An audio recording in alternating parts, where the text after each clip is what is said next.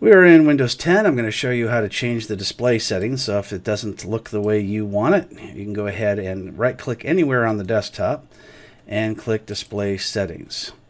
From here, you've got a couple of choices. You can either use the slider bar and just slide to whichever you want, or you can choose the advanced settings, which is what I recommend. Choose the advanced display settings. And from here, uh, we can change the resolution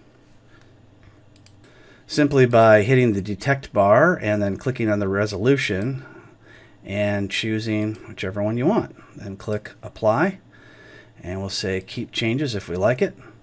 If we don't like it, we can go ahead and change it to another one. Try a couple different ones here. Click apply.